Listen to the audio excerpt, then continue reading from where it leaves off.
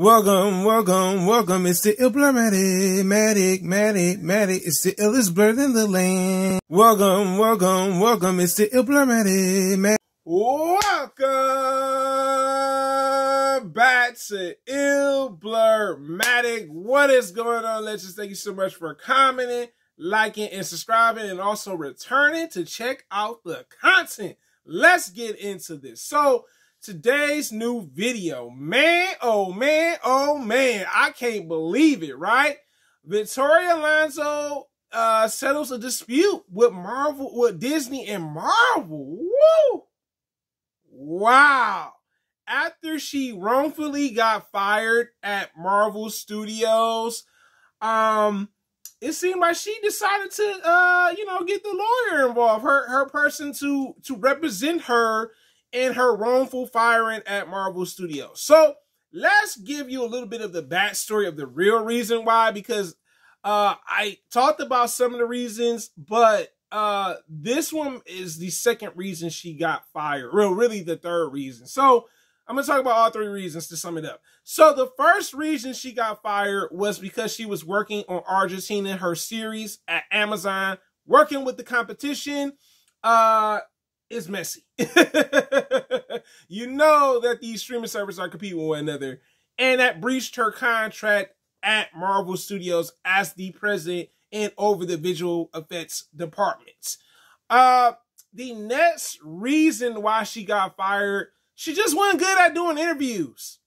They, they didn't really like how she handled interviews. So that was another problem too. That's why a lot of us when she got the position at Marvel Studios as president, when Kevin Feige went on to become the creative officer at Marvel Studios, he was still the face of the interviews because he was a better person to do interviews. He's got better interviewing skills. And they probably looked at like, eh, she ain't really good at interviews. We really don't like how she's doing these interviews, how she's handling it. Nah, not. Absolutely not. Um, and that's understandable. Now, the third reason is the most surprising. I was right slightly, but I was wrong on my behalf on it. It wasn't because of Ant-Man flopping in the box office is why she got fired. Uh, the real reason was because the LGB references within the film uh they Marvel Studios was trying to get rid of that in Ant-Man 3. Victoria Alonso was stuck in her ways, meaning she was stubborn about it, and she got what she wanted. I'm telling you, boy, she like Thanos at, at Marvel Studios. she said, I, I, I, I, I. she said, we gonna put that in this movie. You know what I'm saying? Um, and that's crazy, you know what I'm saying? To see them butting heads with one another about this, insane, man. And you know what? She was wrongfully fired. It, it wasn't just like a, a, firing, like, oh yeah, she got fired just because. Um, I mean, they, I think they were like literally when I think about this now. Um, I guess after the Ant Man thing was like, you know, that she won that. the, uh, against them, they're like, "Oh, we still fire you." and Marvel was like, "We we still firing you, right?" So I, I like how strategic they were. They were like silent about it. You know what I'm saying? Like they just like, "Hey, she fired." um, you know, we know Kevin Feige was a part of it. We know the head of Walt Disney, uh, chairman was a part of it too. But I think with Kevin Feige, the reason why he couldn't just like, you know, say, hey, yo, you getting fired and stuff, I think they had a good working relationship. I'm sure they had their differences, just like any coworker at a job. You working with someone, you're gonna have things that you guys have in common. You're gonna have disagreements too. I mean, it is a working environment, right?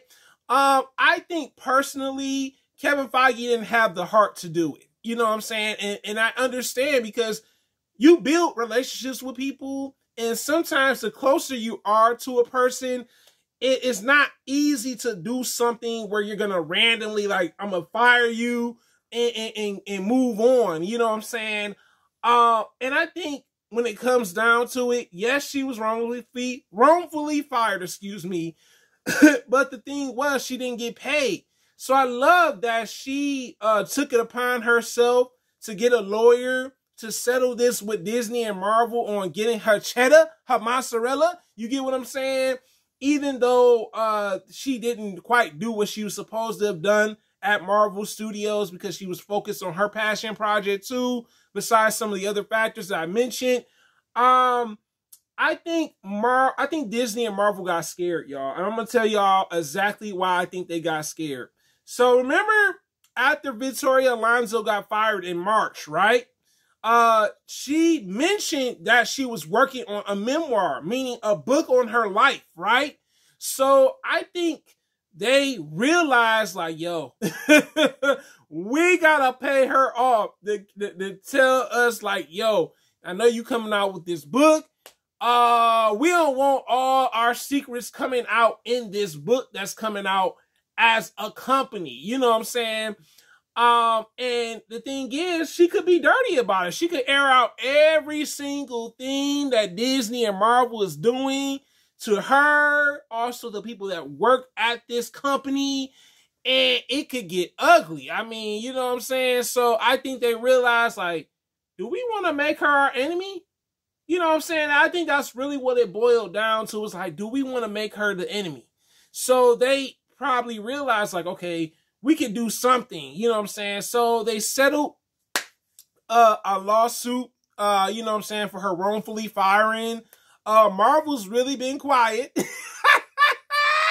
Marvel has been really quiet. You know what I'm saying? I can understand why. You know, maybe they still don't really want to pay her due to what took place um, but man, she is like the godfather out here, boy.